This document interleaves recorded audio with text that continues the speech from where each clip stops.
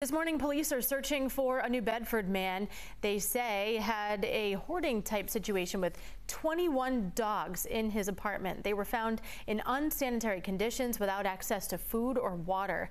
Now a local business is stepping up to help give them a better life. Sophia Zabo joins us live in studio with how you can help. Good morning, Kate. Christopher's in Fall River tells us when they saw this horrific story, they knew they had to do something. That's why they are donating all of their coffee sales and 25% of their food sales to the shelter that has taken in these dogs. And the shelter says they aren't in good condition. Getting them care is going to cost thousands of dollars. That's why the owners of Christopher's are actually taking another step beyond. We are adopting. Um, it's a, a, dog. Her name is uh, Posey, um, and she has a broken leg. So uh, we're going to foster her first, um, and then she's actually going to get her leg amputated.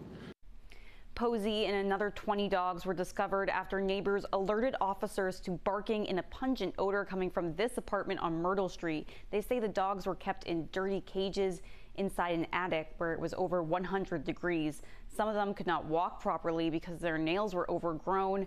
Animal control officers say the owner, 35 year old Derek Ambrose, ran away when they tried to speak with him.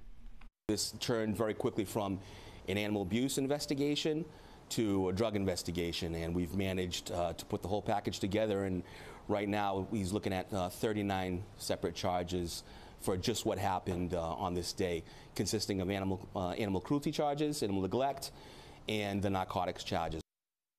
If you know where Derek Ambrose is, you are urged to call New Bedford Police. In the meantime, Christopher's is raising money throughout the end of the day today. And if you can't make it to Fall River, they have ways you can actually donate virtually. In studio, Sophia Zabo, 12 News.